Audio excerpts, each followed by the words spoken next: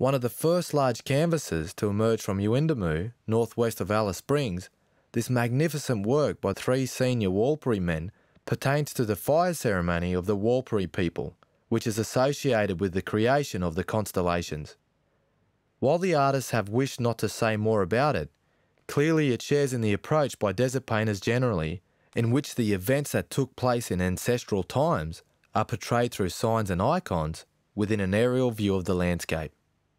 The painting is based on ceremonial ground paintings, and like ground paintings, is a collaborative work by several artists. Kwentwentjay Jungurrayi Spencer, owner of The Dreaming, or Jukurrpa, supervised the painting but did not participate. The main painter was Paddy Jupurrurla Nelson, a leading artist in the community who had matrilineally inherited rights to The Dreaming, or Jukurrpa. Paddy Japaljarri Sims and Kwentwentjay Jungurrayi Spencer's younger brother, Larry Jungurrayi Spencer, assisted.